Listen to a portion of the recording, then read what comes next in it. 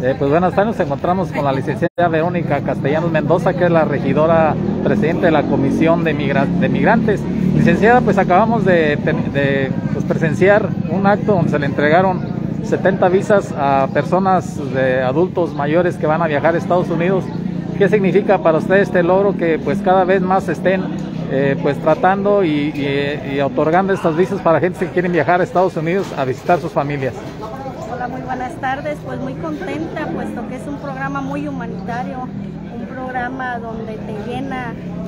donde te palpita el corazón al 100 al ver la sonrisa, las lágrimas de todas las personas que fueron beneficiadas, pues como tú lo comentas, de 79 que fueron a solicitarlas, solamente 70 se vieron algunas personas de las cuales no fueron beneficiadas por algún trámite mal que se o alguna comunicación en el llenado que, se realizó y que no se no por eso no tuvieron que no se realizó bien. Y pues decirte que muy contenta y que pues es, es un programa que la verdad pues llena de mucha emoción el saber que hay personas que tienen hasta 30, 35 años sin ver a sus seres queridos y pues ahora sí el, el reencontrarse con ellos, pues este, escucharlos te llena de ganas de seguir adelante, de seguir este, promoviendo este programa al cual bastantes personas acuden a tu servidor a las oficinas, en el cual pues yo gestiono y les doy todas las asesorías correspondientes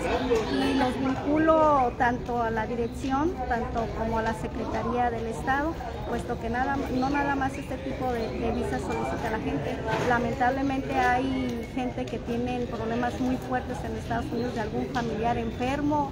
o este, de, que perdido. Y pues han ido a la oficina a solicitar la información para una visa humanitaria. Y quiero decirte que gracias a Dios hasta ahorita son cuatro de las visas humanitarias que ya se han estado gestionando y que han sido este, beneficiadas las personas. Y pues cuentan con una amiga regidora, ahí nos encontramos en las oficinas del ayuntamiento y en la sala de regidores. Así es. El representante emigrante tocó un punto muy, muy, muy humanitario, como usted está diciendo. También estoy dando, me estoy dando cuenta que brindan el servicio para repatriar eh, los restos de personas que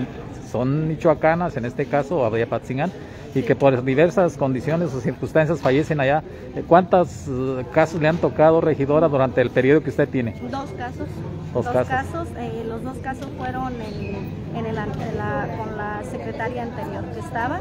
y, se les apoyó con el 50% y uno creo que fue hasta con el 75%. Dependiendo de la situación económica en la que se encuentre la familia, eh, pues también ha sido el apoyo que se le ha brindado parte del ayuntamiento y parte del Estado. Así es. ¿Usted cómo ve? Eh, bueno, hubo una modificación en las reglas de operación de este programa, que antes se llamaba Palomas Mensajeras, ahora es Refami, este, donde antes también viajaban en grupo, ahora ya el, propio representante emigrante dio las dio las justificaciones el por qué no es recomendable que viajen así, porque se puede dar malos entendidos o malos manejos. ¿Usted cómo ve, eh, cuál es su punto de vista en ese, en ese, en ese tema? Pues como se comentó, eh, no precisamente tiene que ser a fuerzas que vayan en grupo o este de 5, 10, 15 como era antes, ahorita ya de acuerdo a las necesidades y de acuerdo a la forma económica también que tengan los familiares del extranjero para enviar el recurso, porque a veces las personas, aunque ya obtuvieron la visa, a veces la situación económica de ellos no es la suficiente tanto para los conseguir los vuelos para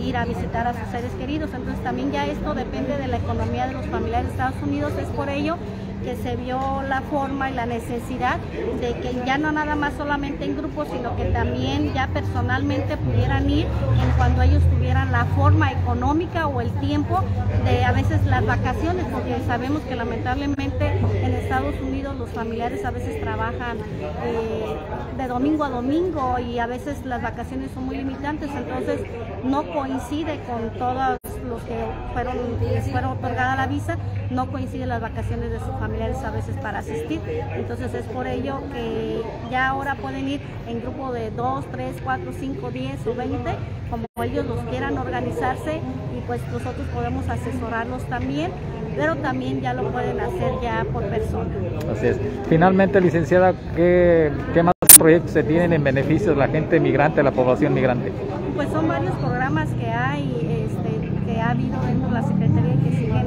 habiendo dentro de la Secretaría de Migrante de apoyos a personas que son repatriadas de Estados Unidos, el seguro social también a personas que, que fueron, que trabajaron durante muchos años en Estados Unidos y que no, no han registrado, no han revisado eh, el beneficio que tienen de ese seguro que manejaron, pues tiene que ser un seguro en el cual este, ese seguro esté vinculado dentro del manejo de allá de los Estados Unidos porque hay personas que trabajan con seguros que no son de ellos o seguros que, a veces son inventados por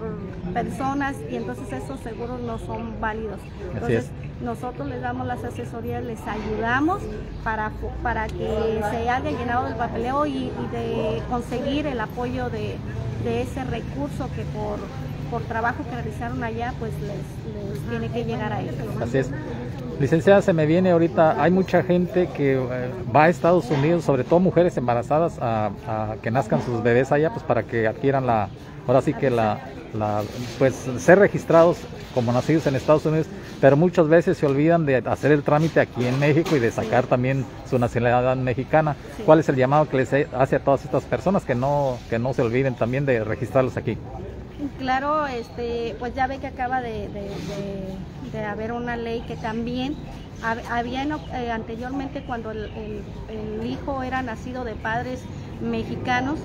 los podían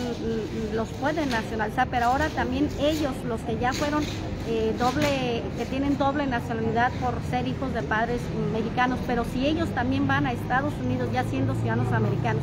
y tienen a sus hijos también ya lo pueden hacer porque tienen la doble nacionalidad de sus padres, lo cual antes era más difícil porque aún siendo nacidos en Estados Unidos, teniendo la nacionalidad por los padres aquí, era más difícil obtener la, nacionalidad de, ya de sus hijos nacidos también allá. Entonces, ahorita pues tienen que venir, les, les invitamos a que este, acudan a las oficinas correspondientes con su servidora para darle asesorías necesarias para que hagan el apostille de sus actas para así posteriormente este, hacer la, la petición de la doble nacionalidad dentro del registro civil y hacer todos los procedimientos legales. Perfecto. ¿Algo más que agregues? Regidora. pues gracias, gracias por la entrevista, gracias a todos aquellos por la confianza en su servidora que han acudido conmigo para asesorarlos y pues saben que ahí están puertas abiertas con su servidora, la licenciada Verónica Castellanos Mendoza, para apoyarles en todo lo que esté en mis manos, como le he dicho, y lo que no, pues saben que soy una mujer de tocar puertas hasta obtener lo que ustedes necesiten. Ok, gracias licenciada.